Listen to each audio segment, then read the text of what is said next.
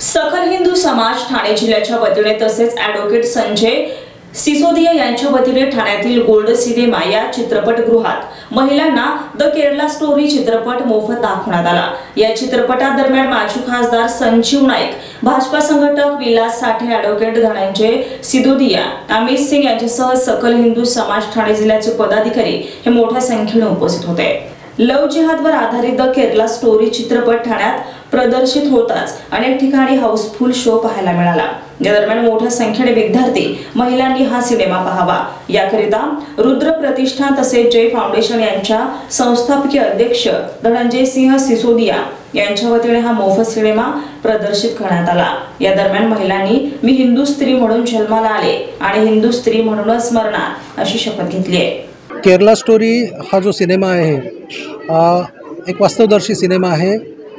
समाजातलं आजचं वास्तव जे आहे हे अतिशय स्पष्टपणे याच्यात दाखवलेलं आहे. आणि सगळेच सिनेमे काही केवळ करमणुकीसाठी नसतात तर प्रबोधन करण्यासाठी सुद्धा असतात. आणि हा जो चित्रपट आहे हा समाजाचं प्रबोधन करण्यासाठी आजचं जे वास्तव आहे समाजातलं हे दाखवण्यासाठी आहे. आणि ज्या पद्धतीने महिलांचं शोषण होतं आहे विशेषतः अतिरेकी संघटनांकडनं की त्यांच्या फायद्यासाठी म्हणून ज्या पद्धतीने समाजातल्या स्त्रियांना फसवून त्यांना बळी पाडून आणि मग त्यांचं जे शोषण केलं जातं आहे आणि आय सी सारख्या ज्या अतिरेकी संघटना आहेत ज्या जगभर शांतताप्रिय नागरिकांना आणि संपूर्ण जगाला आज विळखा घालू पाहत आहेत या सगळ्या संघटनांचं महिलांचा एक दुरुपयोग करत आहेत त्यांचं शोषण करत आहेत त्याविषयी या चित्रपटात भाष्य आहे. मी सकल हिंदू समाजाचं अभिनंदन करतो. धनंजय सिंगजी यांचं अभिनंदन करतो की त्यांनी हा जो शो विशेषतः माता भगिनींसाठी आयोजित केलेला आहे त्याबद्दल त्यांचं अभिनंदन. सबसे पहले मैं आप सभी पत्रकार बंधुओं का, भाई बहनों का यहाँ पे बहुत बहुत धन्यवाद दूँगा कि आप एक एक अच्छे कार्यक्रम में हमारा बहुत सहयोग कर रहे हैं। केरला स्टोरी ये फ़िल्म नहीं, अपने आप में एक सत्य कथा है।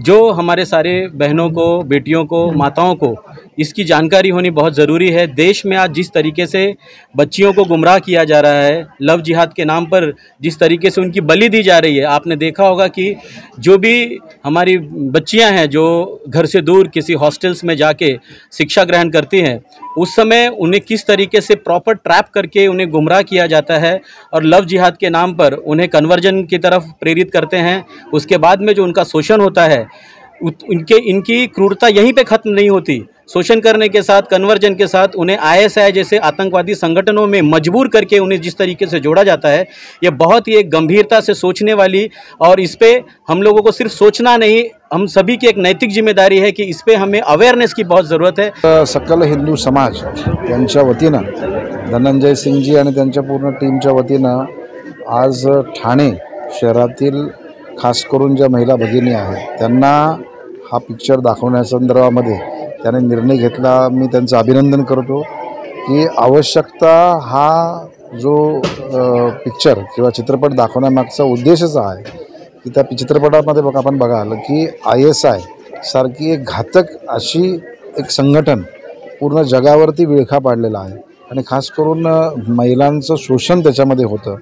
महिलांचा दुरुपयोग होतो.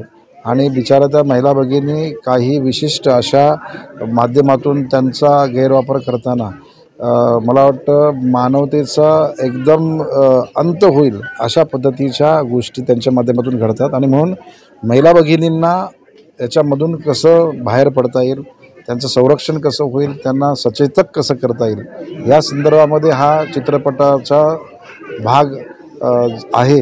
असं मी स्वतः समजतो. Report Star Maharashtra news Thane.